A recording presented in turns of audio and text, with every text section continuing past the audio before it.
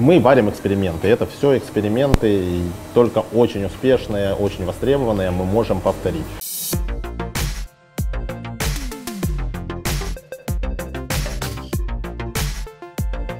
Где бы мы еще встретились, как не в Харькове, Ну, да? Понятно, да. Тяжело пересечься. Харьковские пивовары. Уже сколько лет, да, э, в одном городе, и все никак не пересечемся. Тимур Шатилов, э, владелец Гремлин Брюери. Брю. Гремлин Брю.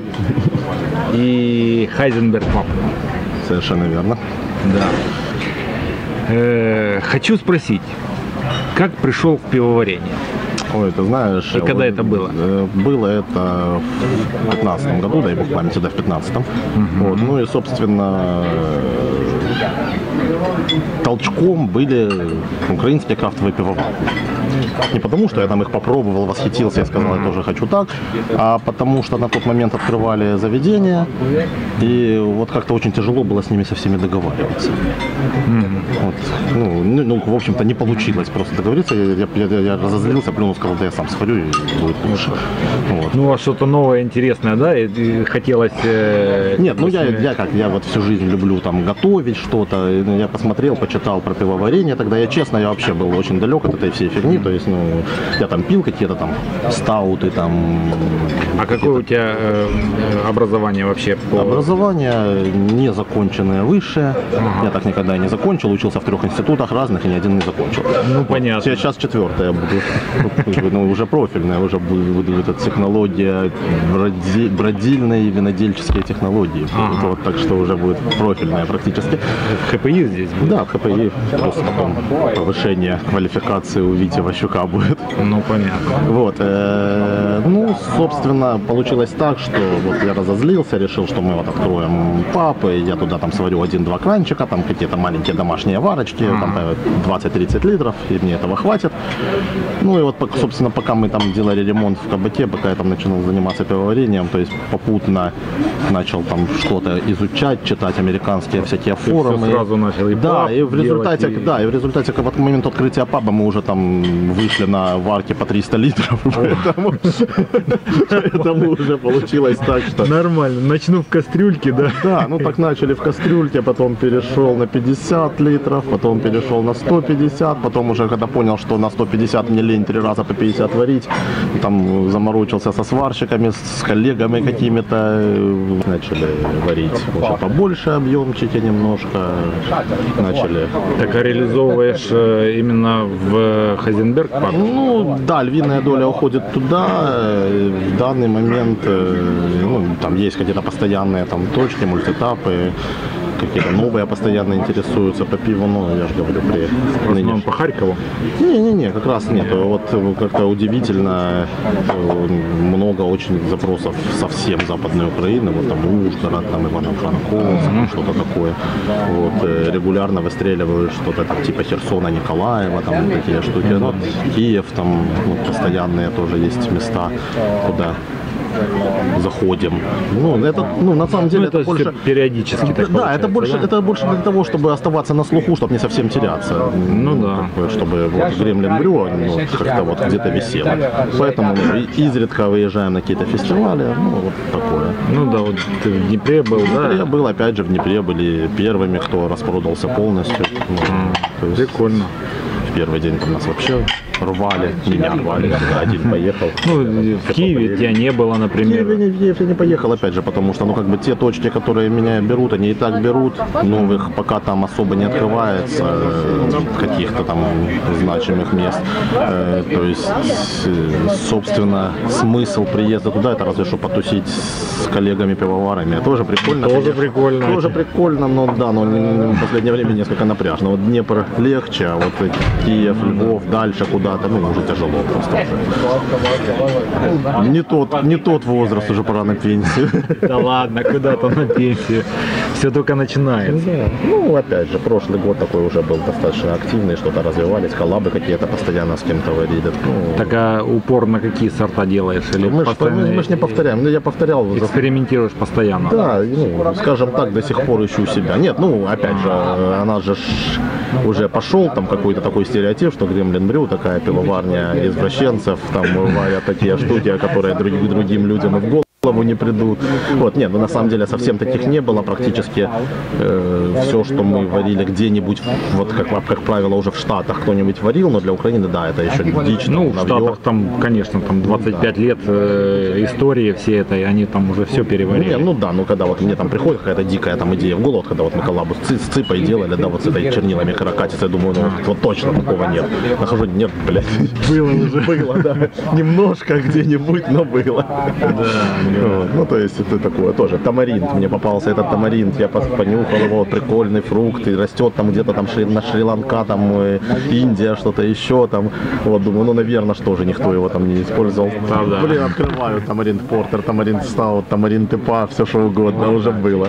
Ну, но для нас это все равно еще Да, новое. для- дичь, ну, да. насколько мы там развиваемся, Украина, в принципе, крафт когда начался?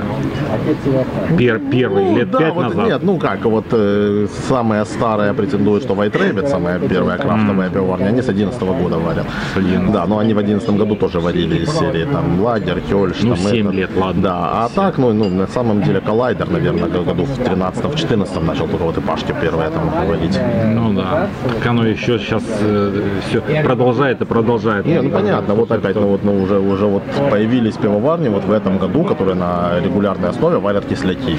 То есть это вот уже, я считаю, это уже вот шаг вообще вперед, потому что до сих пор, ну, Я до сих пор не дошел пока еще. нет, ну просто До ну, саура да, вот, вот, как бы сварить кисляк, это на самом деле надо иметь яйца. Ну да, тут э, не- непонятно еще н- такой сорт непонятный. Нет, ну там, э, да, вот, ну, вот там, там серии берлинеры какие-то, там фруктовые сауры, это и там еще полбеды. А вот когда вот конкретный, вот именно продвинутые Да, пользователи там ламбик жесткий там вот. да. понимают, а основная эта масса ну, пробует, блин, скисшее пиво. Ну, Не, ну было смешно когда-то во Львове в прошлом году на вот этом крафт бир для который вот ровно год назад был. Тогда был этот львовский магазин Hop Heads. И девочка, это Лиля, говорит, вот типа зашли нам свое пиво, а мы будем как бы вот вас, вас представлять официально, то есть на этом фестивале. Вот, и я им заслал Берлинер тогда, и там, э, ну, в том числе. Вот, э, и такой достаточно кислый Берлинер, причем ну, такой летний сорт, очень легенький, там, и- а это у них уже тоже конец сентября, холодно. Вот, и они говорят, вот в ночь, э, ну, с пятницы на субботу, там первая ночь, они говорят, ну, мы палатку не закрывали, оставили там, ну, все как есть. Говорит, ну, оставалось, говорит, там две трети, типа, приходим почти пустой. Говорит, только ночью и именно Берлинер кислый, оставили все остальное. Нормально. Все-таки видишь. Оценил кто-то. Кто-то, да. Гурман какой-то. Да, так что есть, есть. Как-то у нас Вкус вырабатывается все равно ж, э, вот чем больше по- появляется кисляков, тем больше ну, как бы людей пробуют и начинают ценить. совершенно верно, но кто-то же должен первый броситься на эту амбразуру, понимаешь? Вот Потому что сказать, вот я сварил шквал кис- принять на да, себя вот, это, вот, это вот все, за да, вот, на говна на вентилятор, вот это вот, знаешь, хватануть. Это да. А этот э, вот э, нас на слуху был, что коллаб делали Шайтан и Па. Ну, шайтан, да, мы делали с Редхэтом, очень хорошо получилось, не без боков своих, конечно, ну, то есть не, не все вышло так, как, ожидалось, но тем не менее получился хороший продукт, реально. Название такое ужасное. Шайтан Э, Ну, мы долго там, это мы же дело в чем? Мы же название, у Red Cat у них строгое ограничение. Должно быть название из одного слова, причем не больше восьми букв. Вот, и ну, очень тяжело в эти рамки что-то там ну, положить, да, внести, как-то там это. И кинули тогда клич просто по Фейсбуку, типа, ребята, предлагайте свои варианты. И вот кто-то предложил Шайтан и Па, и вот за него, собственно, ну, Ну, проголосовали. какая-то жесть, да, была? Не, ну это не была жесть. На самом деле это была двойная пашка. То есть там получилось на 2,5 тонны варки получилось 44 килограмма хмеля. Мы Ого. Засвинячили. Вот. Э, Ну, как бы... вы психанули. Не, ну получилось реально круто, реально очень кайфово. То есть он быстро очень разошелся. Э, Ну, очень там хорошие оценки, кроме олдбара почему-то собрал. То есть что-то вот в Алдбаре у них там, ну, Ну, свои гурманы. не, ну в Киеве, в Киеве там даже бытует такое какое-то там мнение, что в Алдбаре вот почему-то есть такой свой алдбаровый привкус. То есть вот, вот так как-то, ну. Кстати, Тимур мне тоже предложил э, коллабу сделать э, Брегат, да? Да, брегот, старинный шотландский сорт, медовый, там пр- практически. Брегат, получается, это э, крепкое пиво с Ну, есть- большой дозой меда.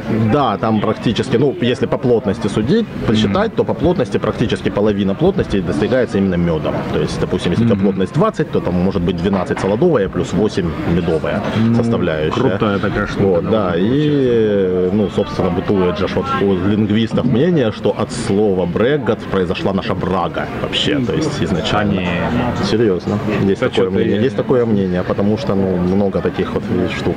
Потому что изначально вот, ну, все эти браги делали медовушные, You're goddamn right. Ну, Проса и мед изначально было. не, не Ну, претендую, ну, не, ну это тоже, это не, ну, это не истина впоследствии, но есть такое мнение, читал, когда изучал. Одна из долго версий, эти- да, да, одна из версий, что это вот именно брага произошло от этого слова. Потому что, ну, была достаточно известная штука, опять же, это ей там тысяча там с лишним лет возраста, потому что, опять же, ну, это делалось для чего? Чтобы хранилось долго, зимой согревало, летом освежало. Ну да. Вот, то есть, ну, и достигаться это в, в те времена это могло только крепостью, ни- Интересный чем другим. сорт. Да. Ну, кому как не дегустатору меда, блин, сделать Вот медовое пиво. Так что я думаю, на наших мощ- мощностях э, забабахаем. Медик, Договоримся. кстати, есть уже. Уже есть мед, да? Да. Отлично. Ну, так что я думаю, в скором времени будет какая-нибудь коллаба интересная. Немножко не в скором, но надо, как я уже говорил, надо настояться. Ну да, вообще крепким сортам хорошо бы. Приглашаем на два, первых стола. Окей, Витя, спасибо. Ладно, Тимур. Спасибо за интервью. А, категории постоянно.